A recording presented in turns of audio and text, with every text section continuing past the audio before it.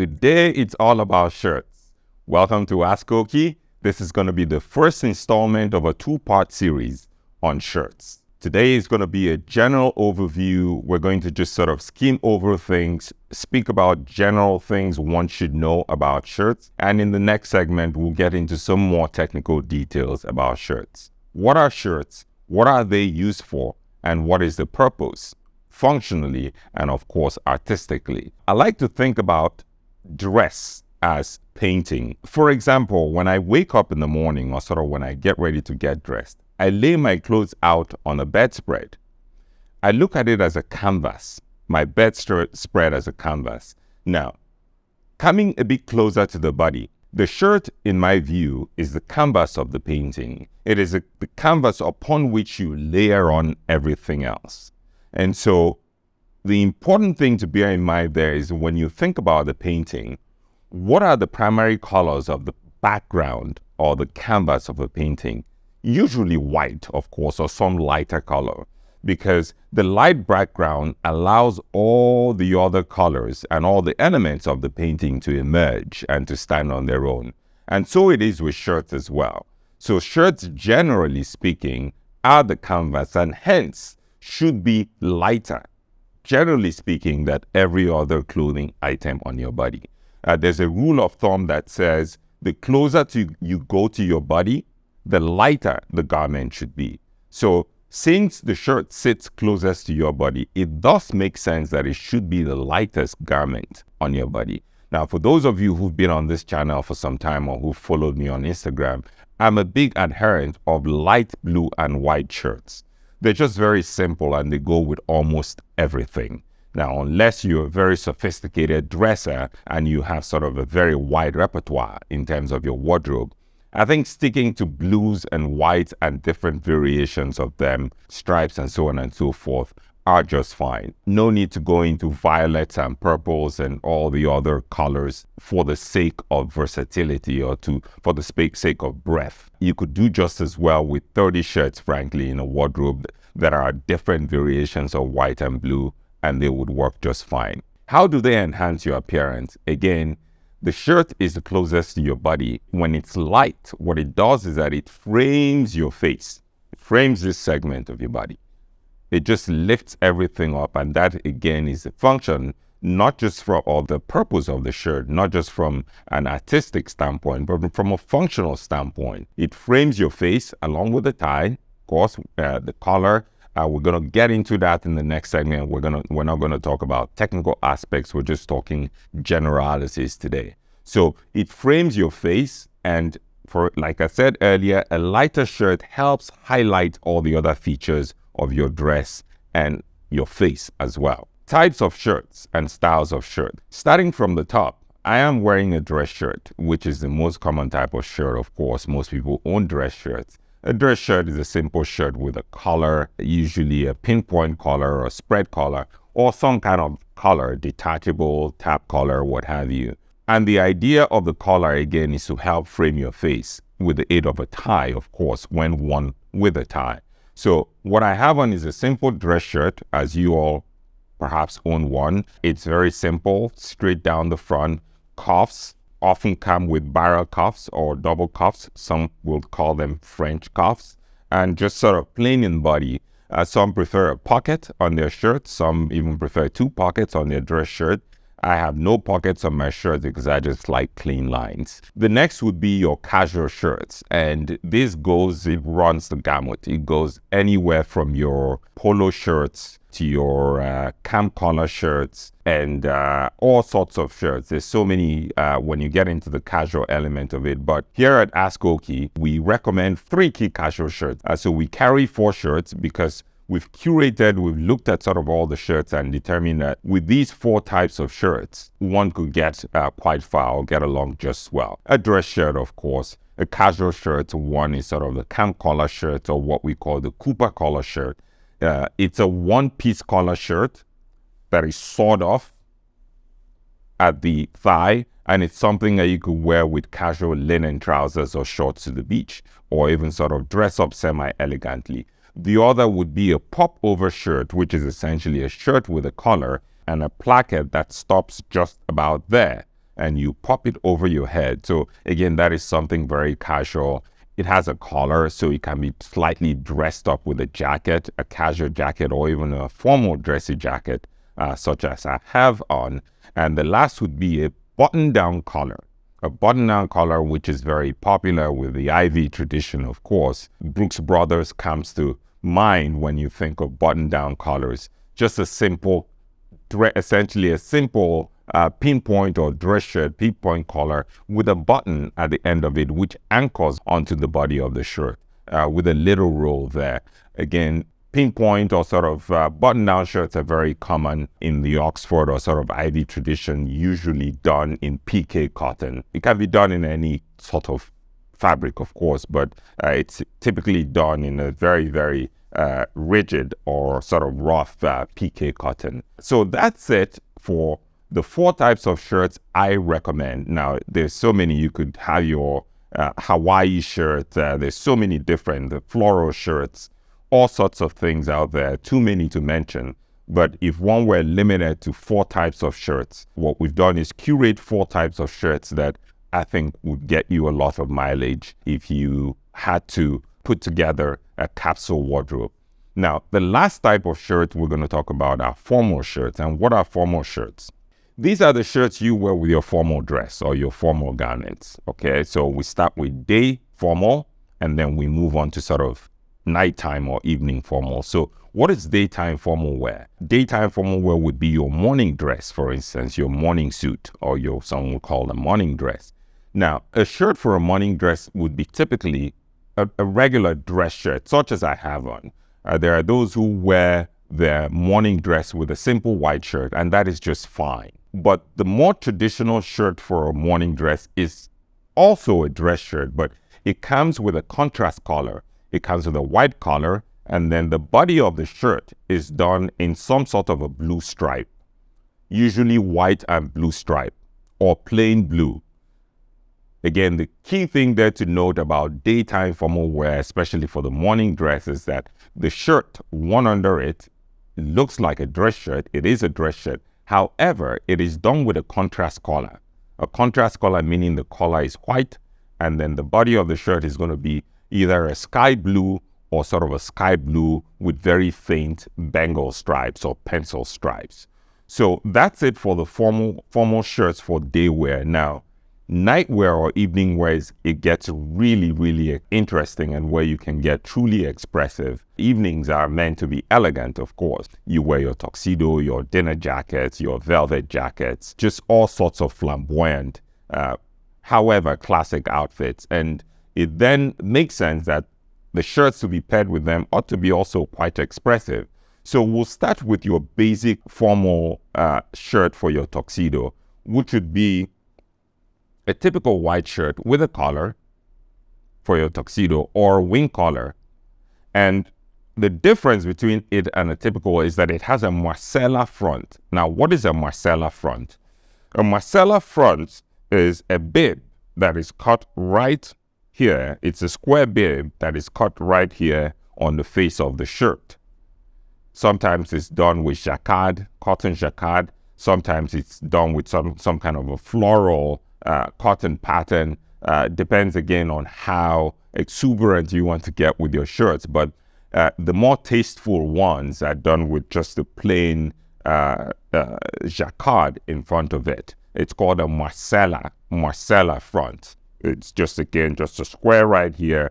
Now on top of that square uh, is where you put your studs, your evening studs, usually in black or sort of off-white mother of pearl.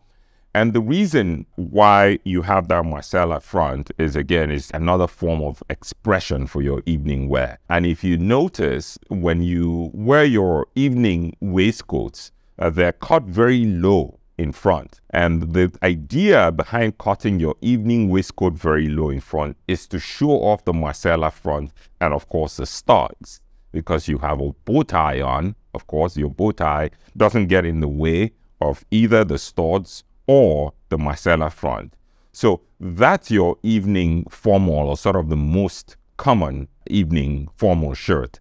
Now, of course, you could go to white tie shirts, which would mean, which call for a wing collar or bat collar, some would call it. Those used to be very, very popular, but now not so much. Uh, I haven't seen anyone wear an evening tail suit in quite a while myself. So I, I wouldn't place that on top of my list unless you are just sort of uh, a true uh, uh, dyed in the wool sartorial uh, uh, master, so to speak. But just for your evening wear, a simple white shirt with a Marcella front, a typical collar, it could be a wing collar or not, but just a typical collar that can hold a bow tie.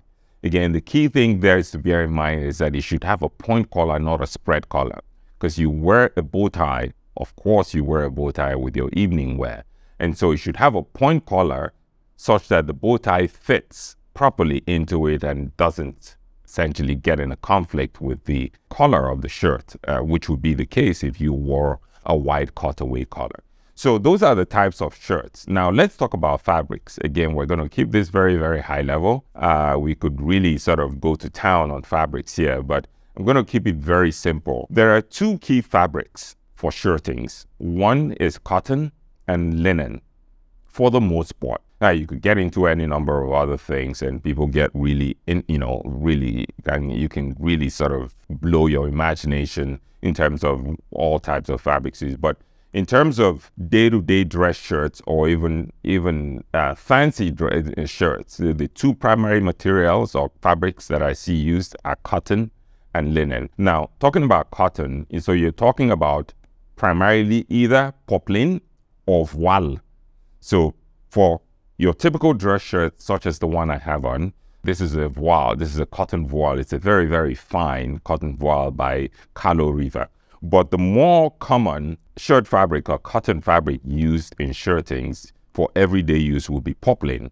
It's a very durable, hard-wearing cotton that you can basically wear day in, day out, throw it in the wash, bring it out, and it just sort of holds up. And then uh, other types of cotton, of course, include sort of pinpoint cotton, which is used in button-down shirts. Uh, it sort of, it has sort of a rough surface to it, or some would call it an Oxford cotton. And then there are any number of other, a lot of variations of cottons out there and then blends, of course. Then the next would be linen. Linen would be something you would use for more casual shirts or for summer shirts, especially in the summer uh, when it gets really hot and uh, humid.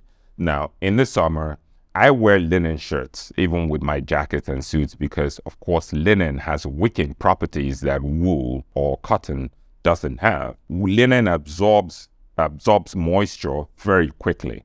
So in the summer, for instance, where it's almost impossible to wear a jacket, you would be surprised that if you wore a linen shirt, you could actually wear a jacket and still be comfortable because the linen sits close to your body.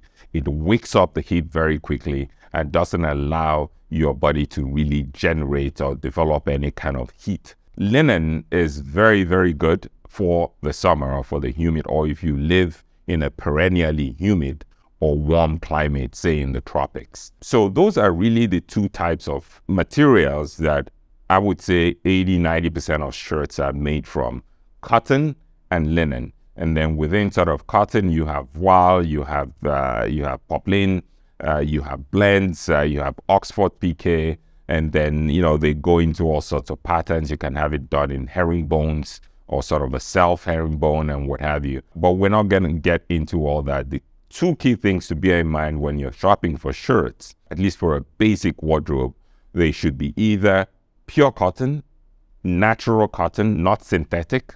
It should be some form of natural cotton or linen, meaning again, very natural linen, nothing synthetic, all organic. Uh, these are the two types of fabrics that would, one, first of all, preserve the longevity of the of the shirt, and also this is something you wear very close to your body. So you want to be very, very uh, uh, careful. Of, of course, you want to be very mindful about uh, the fabric uh, it's made out of, so uh, you don't start to uh, develop other is issues with your skin. What is available in the market? Now, this is really a Pandora's box, and we could really get into it here. What's available in the market, where to buy, the prices, you know, handmade versus ready to wear. So let's start from the top. Shirts are one area where there is just an absolute explosion of, I mean, the, the options are just limitless. They're just absolutely limitless. All one needs to do is uh, type in uh, Google search shirts and it's just, um, but let's break them down into three uh, segments, so to speak. You have your bespoke shirts, you have what you call made to measure or made to order, and then you have ready to wear. Now, let's skip past bespoke and made to measure and let's start with ready to wear. Again, literally every brand out there makes a shirt, every clothing brand. But in terms of companies with a shirting heritage, there are two that come to mind, Turnbull and Asser and Charvet Paris.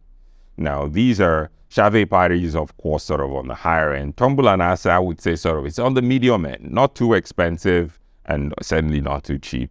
And then you have sort of the Italian brands, you know, the Kitons, the Borrellis, um, and so on and so forth. There's so many, so many, so many, too many to name. But in terms of the traditional names, when it, when it comes to shirts, when you think about shirt, what do you think about? You think about Charvet, you think about Turnbull and Asser, you think of Brooks Brothers, you know, sort of on the more day-to-day, the more utili utilitarian scale.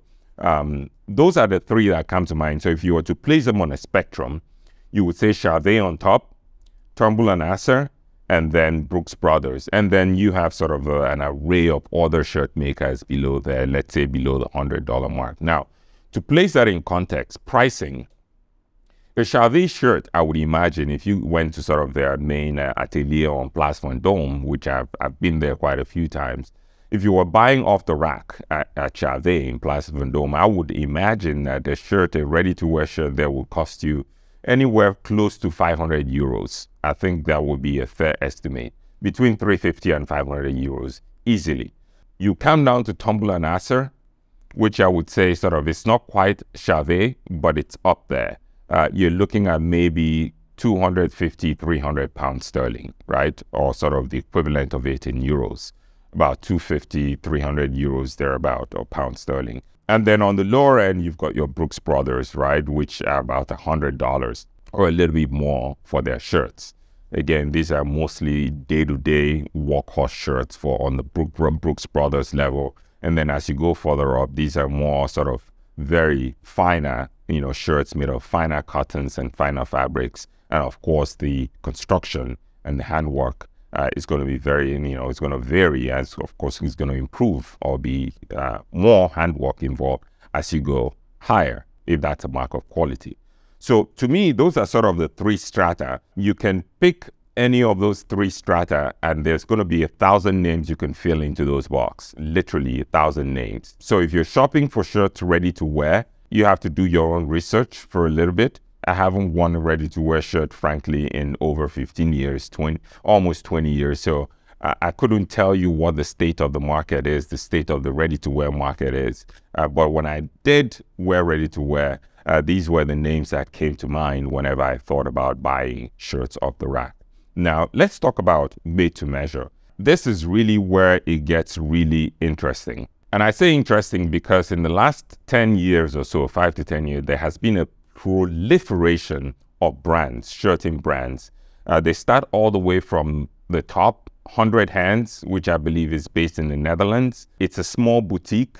They make beautiful shirts, excellent shirts, really, and with a price to match as well. Uh, you have Emma Willis uh, on Jermyn Street. Uh, she's also an excellent, you know, uh, shirt maker par excellent. Uh, so if you're looking at the top end of made to measure, or bespoke, right? So these days, bespoke and made to measure are used inter interchangeably, especially for shirts. It's very, very difficult to see the difference between a bespoke shirt and a made to measure shirt, but we'll get to that in the next segment. So on the top end is going to be your Emma Willis, uh, your 100 Hands, and a number of other really, really fine shirt makers.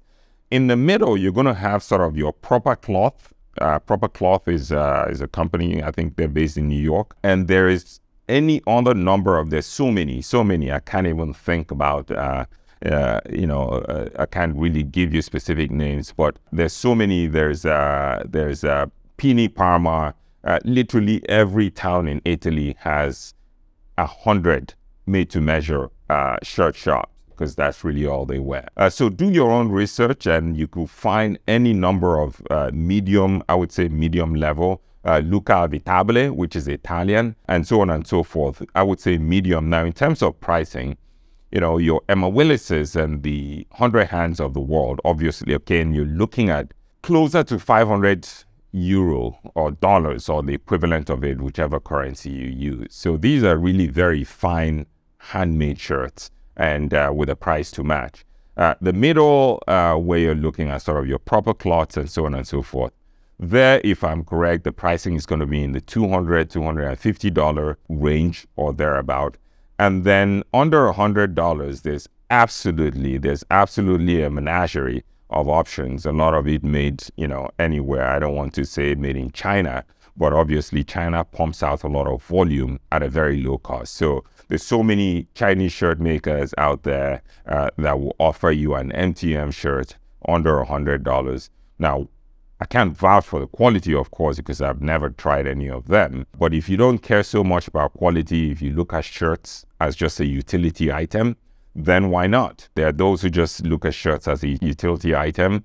Uh, it's sort of it's it's a first layer. It's quote unquote hidden uh, under your coat, and so they try to economize on shirts and put the money elsewhere, saying they're tailored garments. Uh, it's not the case for everyone. I particularly like shirts. I like the feel of a very fine shirt. It just makes you feel good and it just makes the outfit feel more complete. Uh, so that's it for the made to measure and bespoke range. There's thousands of names, again, exhaustive. Uh, you do your own research and you come up with any number of names. AskOkey, of course, being one of those names. We make our own bespoke shirts, such as what I'm wearing. I'm wearing a bespoke shirt by AskOkey. This is made by our premium or made with our premium cotton from Carlo Riva. Of course, we make our bespoke shirts with other types of fabrics uh, that are not at the level. They're still very, very fine fabrics, very, very fine fabrics from Italy, uh, from England. Uh, however, what I have on is a Carlo Riva shirt. And if I could think of two names when it comes to shirtings, right? You have uh, Riva, which is Italian, and then you have uh, Alumo or Switzerland. You have Thomas Mason, of course, in terms of fabrics again. I'm not talking the actual shirts. If you're looking to source the fabric and make your own shirts. So we've talked about the brands. We've talked about sort of ready to wear, uh, bespoke, and made to measure. Let's talk about the fabric and sourcing. There are two segments, or there are three segments in this market. There's the really upper end, so you're talking the Rolls Royce of cloths. You're talking Carlo Riva and Alumo of Switzerland. And then in the middle, you're looking at Thomas Mason, which is very, very popular widely used. Uh, from what I understand, I've never used them, but they're very good. In Italy, you have brands like Canclini, right? You know, Canclini, they make cotton uh, shirtings, uh, but they're especially uh, specialized in linen. So most of my linen shirts, actually, I get from Canclini. Also, Biatti. So Biatti also makes uh, linen shirtings. So in terms of linen, uh, Italian linen, which are really good for shirts. I would say Solbiati or Canclini. But when you're looking at cotton or blends of cotton, the top of the line, top of the line, top of the line, you cannot do any better than Carlo Riva or Alumo of Switzerland. In terms of buying a shirt, what to keep in mind when buying a shirt, whether it's ready to wear or bespoke. Now, I stand before you, and if you look at me, what are the first things you observe? the collar, of course, the cuffs, you don't really see the body of the shirt. So you don't really see how the shirt fits, right? It's not visual. Wearing the shirt, I can feel how the shirt fits. But to the onlooker, so we're going to look at it from two aspects. One is the visual presentation of the shirt, and then we're going to talk about fit. So let's look at visual first. So the first thing you notice is the color of the shirt and the cuff of the shirt. So those have to be spot on. They have to work with your face type. Again, remember the purpose of the shirt is to frame your face. So the collar has to be congruent with you, the shape of your face. In other words, if you have a wide face, you don't want to wear a wide cutaway collar. You want to wear sort of a slimmer collar to give you balance, to balance out your face. If you have a thin face, you want to wear a wider collar right? Again, to balance out your face. So the shape of the collar is really critical when it comes to the visual presentation of the shirts. The cuff, of course, is important, right? So for dress shirts or sort of dressy outfits, I prefer to go with double cuffs or French cuffs. Everything else is just I wear what you would call barrel cuffs or normal cuffs. Let's talk about fit. The key thing again here in fit of a shirt, one, the collar, two, the armhole, and then, of course, the fit across the torso. To me, these are the key important things, and the length of the cuff, the length of the sleeves, of course. So let's start again from the top. The collar, the length of the sleeve, the fit of the uh, the fit of the shirt across the torso, and the armhole. The collar, of course, that is obvious. You don't want any gaps here in your collar. If you stick a finger here, you don't want to be able to stick one on a finger here, otherwise the shirt is too big in collar. The sleeves, when you bend your arm that way, it should cover your wrist bone. Okay, it should be long enough to cover to just about cover your wrist bone when you bend your arm. That tells you you have the proper length. The body or the torso, it should be comfortable. And so it should look fitted, well, not skin tight, but it should follow the lines of your body, but there should be sufficient room such that you can actually tug at the shirt and have a lot of room there. And the reason is this. For most of you working men, you sit at a desk all day long. Okay, and when you sit down at the desk, your shirt, your torso tends to sort of expand a little bit and it pulls at your shirt. And you know, there's this ghastly, I'm sure any number of us have seen this with men walking around or sitting in the office and their buttons are popping. I mean, the worst are those who tailor them so tight that even when they're standing, uh, the the buttons are screaming, screaming. You don't want that. Uh, that just looks very tawdry. What you want is a shirt that is cut that follows the lines of your body, but with sufficient room such that you can actually tug at it on the torso. Uh, and the reason is when you sit down or when you make gestures, you don't want the buttons essentially uh, you don't want the risk of the buttons popping and uh, uh, some would even say blinding an onlooker in the eye. So that's two, the torso. The third thing is the armhole. Now, very similar to your coat armhole, the armhole of the shirt needs to be very high. And that is the key difference between ready to wear and bespoke, even made to measure and bespoke.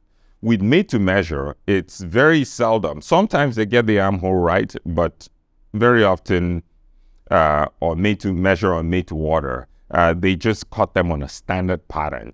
So you have these low hanging armholes that just look terrible and basically are non functional because you can't move in those things. Uh, they restrict your motion or they restrict, restrict your range of motion and you can't move. So similar to a jacket, just like I have on, you can see how freely I can move around because my armholes have been cut very high. Similarly, you want a shirt that's been cut with a very high armhole because it increases your range of motion significantly, improves or increases your range of motion. That is one.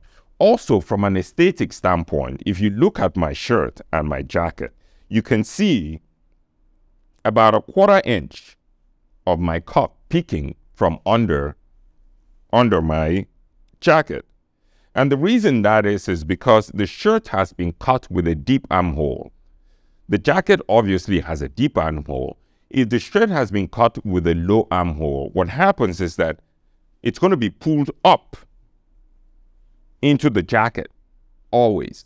Even if it's the proper length, even if the shirt is the proper length, you're not going to see this a quarter inch or sort of piece of linen because the armholes are so low that they're going to be dragged into the jacket and that's just not very that's not a good look at all which should be avoided so if you have the choice of bespoke or perhaps even made to measure ensuring that the armhole is cut very high is very useful not just from an aesthetic standpoint but also from a functional uh, standpoint as i just demonstrated so we've talked about the collar We've talked about the girth. We've talked about the length of the sleeve. We've talked about the armhole. And those are the four key things. You know, everything else is really off for grabs. Uh, the length of the shirt, uh, whether it's sort of a square off or sort off, or whether it's uh, sort of um, rounded off or whether it has a placket on the side. You know, these are all just sort of aesthetic uh, details that really don't don't that are highly uh, personal or individual. But those are the four things one needs to keep in mind uh, whether you're buying uh, a, a shirt from the store or you're having one made either ready to wear or bespoke. One more thing as well to keep in mind, and this we'll talk about this in the next segment when we talk to come to construction, would be the uh, collar or the construction of the collar. It is very, very key because the construction will determine how well the collar sits when you wear it. So that's it. I think we're done uh, for the introduction. Uh, actually, it, it uh, I got into it uh, a lot more than I, I was hoping to. I was hoping to keep it really very high level uh, so we could really dig into it in the next segment. But uh, as with all things uh, classic dress, once you get going, it's really hard to hold back the train. So there you have it. Thank you for joining us. Uh, it's been, uh, for me, another exciting segment. Uh, do not forget to subscribe to our YouTube channel, which you're watching. if you're watching this on YouTube, please hit that subscribe button. go to our Instagram page. Be sure to follow us uh, our Discord community growing every day, a community of like-minded uh, individuals where we share ideas uh, about classic dress and all the other things that make life very, very interesting. So again, like, follow, subscribe, and do everything else, including comment uh, on our Instagram. Uh, you know, I love to read from you. I love your comments. I always respond to every single comment or your DM. So please do not be shy. Uh, we want to interact with you. We want you to interact with one another, and we want to kind of keep building this, uh, this uh, these communities and collectively community uh, that we have built at AskOkey. So I say once again, thank you for joining us. Uh, don't forget to go to our website, critical, the most important. Our shop is on there. Our products are all there on the website. You will find the shirts there as well, such as the one I have on bespoke, completely bespoke, made for you. You have a choice of fabrics, of course, uh, that uh, you can choose from, uh, whether it's Carlo Riva or other vendors that we work with. There's a variety depending on your budget or your price range. There are a number of uh, other vendors that we use. So, so uh, since we're on the subject of shirts, please do not forget to go to the website, click on the shop, www.askokey.com, click on shop, go to shirts, and have at it. So that's it from the prof. Thank you for joining us. Goodbye and see you on the next segment.